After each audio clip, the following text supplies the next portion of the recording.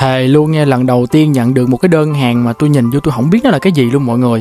Xong cái lúc mà lột ra xong mới thấy nó lạ lạ bắt đầu lên mạng tra mới biết. Ê, cái hàng này ở nhật nó phổ biến lắm nha mọi người. Hầu như cái tiệm siêu thị nào cũng có hết á mà nó hơi kín đáo thôi. Mà bữa nay là lần đầu tiên nhận được cái đơn hàng để gửi về việt nam luôn. Thì cái bạn khách này nha nhìn vô cái đơn là thấy cũng giá trị khiếp thật á nên thấy bạn cũng chịu đầu tư.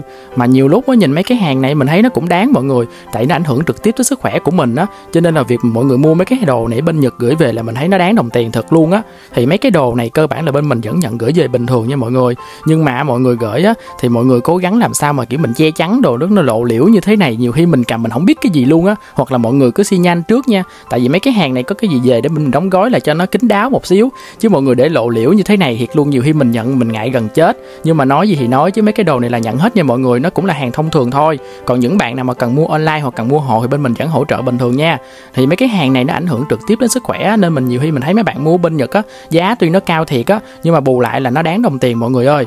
Cho nên nó là những bạn nào mà có nhu cầu mua cái này thì cứ nhắn bên mình nha, không sao hết nha. Nhưng mà mấy cái đồ này thì mọi người cứ inbox kín nha, đừng có công khai nhiều quá, mắc cỡ ngại lắm á nha.